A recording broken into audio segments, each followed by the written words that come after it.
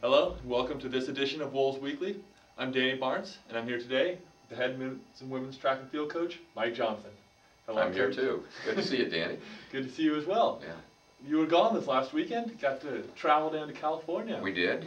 Uh, we went on down. We had two meets uh, on Friday and Saturday. We were at Stanford for the Stanford Invitational, and on Friday we had part of the team over at uh, San Francisco State for their uh, distance carnival and invitational. So we had athletes uh, sometimes competing at both places at the same time. So it, uh, not, I mean, not the same athletes, but of course, but uh, we were split. And then on Saturday, uh, then Stanford was the Stanford was the meet that we were that we were part of. That was the third straight week you've been, the third straight. Um, meet that you've been a pretty high level of competition. You went the week before down to Oregon Preview. Well, we, yeah, we do. I mean, that's uh, part of our objective. We're going to get ready for conference and national competition. Uh, we need to see good uh, competitors. We need to uh, we need to win, and we need to find out what it's like to uh, be in the middle of the pack and still be successful. It's real easy to it's real easy to hurdle when you're in first, but how does it feel when you're in fourth? And can you still make the same performance? Can you still perform as well? And then be able to challenge yourself to use those other people to improve. We have seen some Western Oregon individuals do very well, whether it is maybe even fourth place in their meet, getting great marks. But somebody such as Matt Kano that got that was able to win the 400 meter down at the Oregon Preview. It seems sure. like you've had some very strong individuals. Sure, uh, we have, and uh, we've had the people like Matt, and Matt, of course, was uh, conference, you know, athlete of the week out of that performance. Um, and then people uh, like Chris Reed, uh, who's, you know, or, or uh, Ashley Potter, you know, who are finishing fourth or fifth in those in those competitions, but competing against national champions or, you know, former Olympians in their respective events and and competing with uh, you know with some uh, purpose.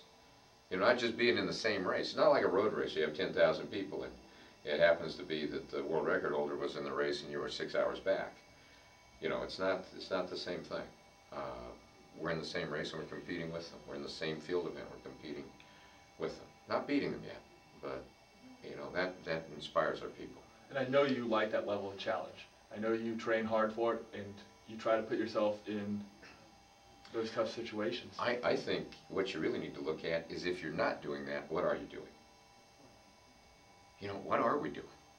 Okay, well, let's go out and see who we can knock over this week that's, you know, not, uh, uh, not as strong a team as we need to challenge.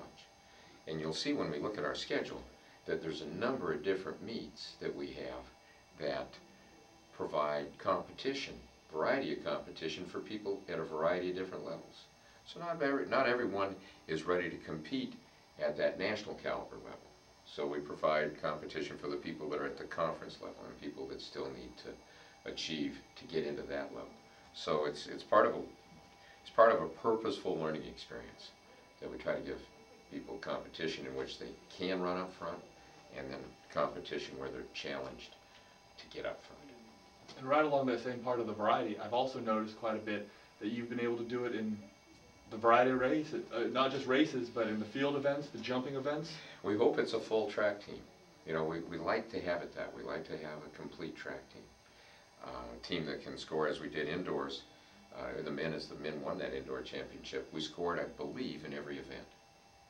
And that's, uh, and it's pretty good. And you're on the bus, and so that the the hurdlers know what the jumpers are doing, and the throwers know what the distance runners are doing, and the distance runners know what the sprinters are doing, and, and uh, it's more of a team atmosphere that way as well.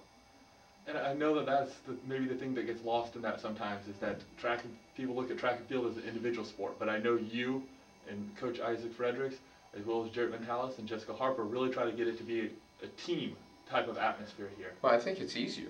I mean, I think it's it's much easier when you are doing something contributing to others as well as trying to reach your own goals. It's, it's, a, it's a much easier thing to do. And so I believe that the team element of it, and, and I think that that's more prevalent in track and field than a lot of people recognize.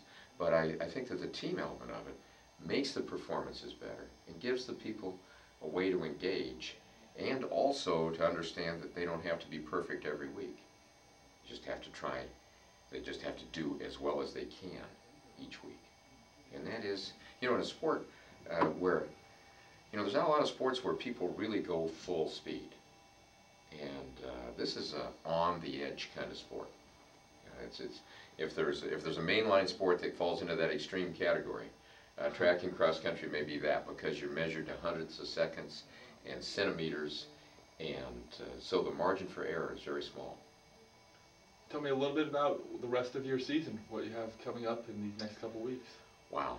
Uh, next couple weeks are, you know, kind of exciting. This is, uh, we're, we're in the home area for a couple of weeks. We have the Willamette Invitational this week. Their distance carnival's all, carnival on Friday night is always really a, brings a lot of talent, uh, elite club talent as well as uh, Division One and Division Two, and three talent uh, from around the Northwest together. We have our home meet here, uh, then on Friday, uh, April 9th, which will have the John Knight Twilight Meet, and we'll also have the alumni, and I think we're gonna advance the alumni mile a little bit and let this be the alumni and parent mile.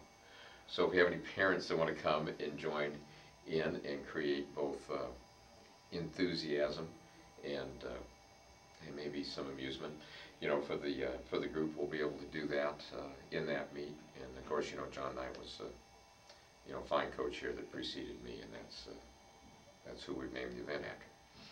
Fantastic, Coach. It sounds like you have, a great season ahead of you, as well as what's already behind you. So, thank you very much, Chris Johnson, for joining me on this edition of Wolves Weekly. I'm Danny Barnes, and thank you all for watching.